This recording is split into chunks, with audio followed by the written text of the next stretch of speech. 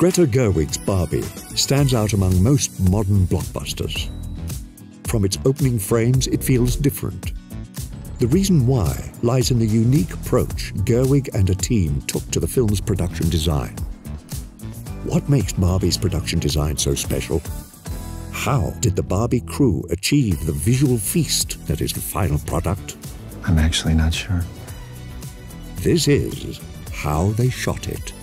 Barbie.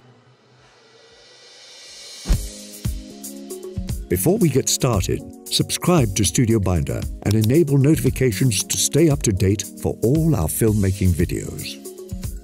We'll be building a shot list in StudioBinder to track how Gerwig and her team brought Barbie to life. Let's begin. Let's do this. Can I sit in the front? No. To understand what makes Barbie's production design so mind boggling, it is important to first understand what exactly a production designer does. The PD is the head of the art department.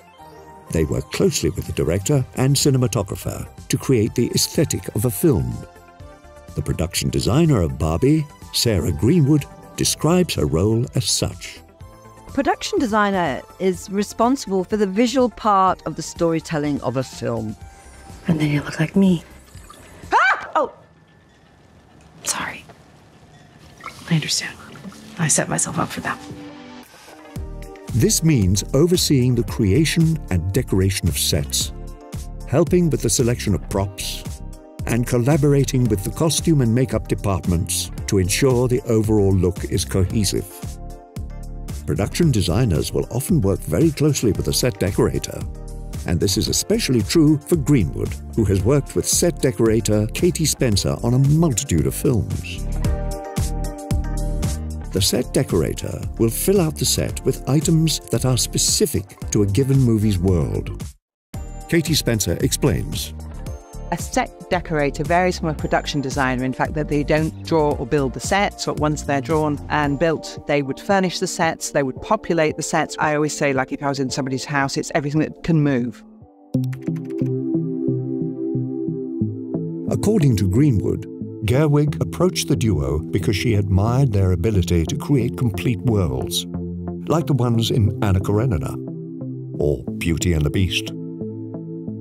Through both production design and cinematography, a complete world was certainly built for Barbie. To create it, the team first needed to do extensive research for inspiration. When discussing her goal for the overall aesthetic of Barbie, Greta Gerwig returned to one phrase over and over again authentic artificiality. In other words, she wanted Barbie Land to feel theatrical and heightened, while also feeling tactile and real. Greenwood explains everything that is in front of camera has to be real so that you as a viewer will watch it and go, that's there, that's built, that is this kind of authentic artificiality. As such, the team embraced the look of massive, colourful sets built on sound stages. This meant finding inspiration in the musicals of Hollywood's golden age. Gerwig notes the importance of The Wizard of Oz, for example. It does something that I wanted to emulate, which is these incredible sound stages and these painted skies, which I think is very beautiful and emotional. Color, too, is crucial to Barbie's aesthetic. And for the palette, Gerwig found inspiration in the work of Jacques Demy, the French New Wave director known for his colorful musicals like Umbrellas of Cherbourg and Young Girls of Rochefort. Gerwig and her team also looked at the paintings of Wayne Thiebaud to echo his use of color. As Gerwig notes, the painter uses no black and no white in his shadows. That was very much something that we did in our Barbie land. We used no black, no white, no chrome. Another breakthrough came from the work of photographer Slim Aarons, whose pictures evoke the feeling the Barbie team wanted to create. As Spencer explains, his pictures are of women with women, and there's no sense of threat. Women being comfortable with each other, just being innocent. The actual architecture of Barbie Land also required extensive research.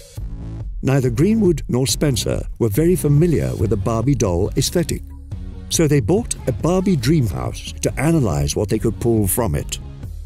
But they knew that they didn't want to directly copy the toy. As Greenwood explains, we're not recreating Mattel, we are interpreting the dream houses through the last 70 years. Greenwood and Spencer also heavily borrowed from the architecture and look of Palm Springs, leaning into mid century California design. The Dream House in particular references Richard Neutra's Kaufmann House, and its pool is reminiscent of the Hollywood Roosevelt hotels. Weird Barbie's house, meanwhile, was inspired by Boo Radley's house in To Kill a Mockingbird, as well as the iconic house from Psycho. Once the research in pre production was complete, the art department then moved to the next step building the sets. The massive Barbieland set was constructed at Warner Brothers Studios outside of London. Sarah Greenwood and Katie Spencer spent five months in pre production, and production lasted nearly another five months.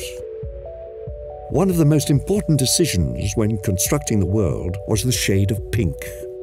Pink, I think, is the first thing that comes to mind when you think of Barbie. And so the most important colour for us to get right was the pink. Our pink had to be a very, very pure Barbie pink. And to find that, it was a case of actually creating it from scratch. The two went through hundreds of pinks before settling on the perfect shade a mix of Rosco fluorescent pink with white paint. Because they needed to coat nearly the entire set in the colour, they ordered 200 litres to their set, a process complicated by a worldwide shortage of pink. I think we will all want to do a black and white movie next. The two recount that the Warner Brothers executives were phoning Rosco's executives. Everybody tried to find pink paint, and we were thankfully sorted. We managed to find it. The background of Barbieland, too, needed to be painted. The blue sky and mountains were hand painted onto an 800 foot long, 50 foot high backdrop. When constructing the Barbie houses, Greenwood and Spencer decided that everything should be shrunk by 23%, emulating the feeling of a doll house, where the doll is slightly too large for its home and furniture. One practical complication for the houses was the lack of walls. Greenwood explains In the script, Greta describes houses with no walls. Houses with no walls wouldn't stand up. So we ended up with that chimney breast that runs through the middle. The chimney with all this pink stonework that's painted. No walls also meant Greenwood and Spencer needed to think about the 360 degree view far off in the distance. As Spencer notes, your perimeter is very different from what it would normally be.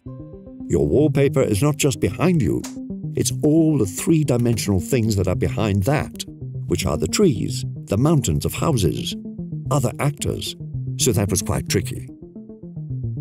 For certain shots where the size of the world went beyond the scope of the set, Greenwood and Spencer constructed miniatures at 1 to 18 scale. This was one of the few times VFX were employed, as these miniatures were composited into the shot in post. I'll see you on the Malibu beach! Sure! For the beach, the two leaned into authentic artificiality, as Greenwood explains.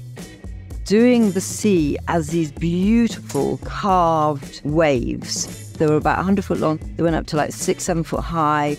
And the sand, of course, in Barbieland is this beautiful pale pink. And then you have the water comes in and goes back out, so you have the foam. Greenwood and Spencer had to rethink the look of Barbieland once the Kens take over. To indicate the shift, they decided with Gerwig to introduce blacks and whites to make the world much less visually appealing. To heighten the dissonance, Greenwood and Spencer introduced real world items into the Kendom, from mini fridges and leather couches to Hummers and TV screens. This shall henceforth be known as Ken's Mojo Dojo Casa House. You don't have to say dojo and house and casa. But you do because it feels good. Try it. Mojo Dojo. Casa. Once the laborious task of building the world was complete, it was time to capture the sets. Here we go, Barbie day one. Making the sets was only half the battle. They also needed to translate onto the camera. This is where director of photography Rodrigo Prieto came in, navigating the fine line between emphasizing the bright colors and not crowding the frame. Gerwig describes her discussions with Prieto. Talking about that sort of layering the colors and almost how you'd shoot five different shades of pink or red in one shot and not have it overwhelm anything. You feel like there's separation, but that it's vibrant. For Prieto, utilizing the colorful sets meant making sure they were brightly and evenly lit. Greenwood recalls the DP's approach. Rodrigo Prieto's lighting was so pure, like a thousand sky pans in the roof and big, soft suns. The wattage was fantastic. Normally, when you go on a film set, it's all focused into this little dark corner and everything else is black. It was the opposite with us. Everything was colorful from wall to wall. Prieto also augmented the authentic artificiality of the set by lighting every angle as though the sun was behind the character. The cinematographer rigged multiple soft suns on lifts so that he could simply turn different ones on and off depending on which way the camera was facing. He explains When you pan the camera around, now it's backlit again. So we took away one sun and brought up another. So it's artificial, but I did want it to feel almost like you're in an actual exterior in terms of the lighting. One of the challenges that came with such a saturated set was the bounce light. Because so much of the world was pink, the backlight would bounce back on the actors' faces and make them look magenta. Prieto didn't want to use a negative fill to eliminate the bounce because it would create harsh shadows that went against the film's aesthetic. So instead, he draped anything that wasn't on camera in grey, creating a neutral fill that maintained the high-key lighting. As a final touch for the colourful world, Prieto decided on a LUT in post that was based on three-strip Technicolor, the hyper-saturated medium many of Gerwig's inspirations were shot on.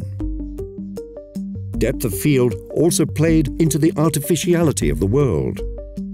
Prieto shot on an Alexa 65, which has a large sensor that results in a shallower depth of field. For the cinematographer, this made Barbieland feel slightly more like a miniature. For the real world, Prieto altered his approach to emphasize the difference in setting. He used a smaller sensor and a less colorful LUT to make the footage feel more grounded. He also would use longer lenses, which he avoided in Barbieland. Closer I am to.